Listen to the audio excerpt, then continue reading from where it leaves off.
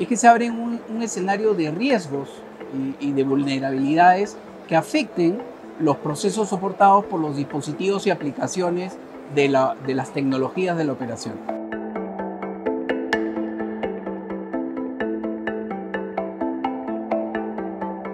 A la par del, proceso de transformación digital adoptado por, por las eh, empresas, particularmente por la industria minera, es que se abre un, escenario de riesgos y, de vulnerabilidades que afecten los procesos soportados por los dispositivos y aplicaciones de, de, las tecnologías de la operación. Es ahí donde se torna tremendamente relevante que las empresas adopten una estrategia, unas políticas e implementar medidas que las ayuden a mitigar y ojalá eliminar todos esos riesgos de sufrir un ciberataque.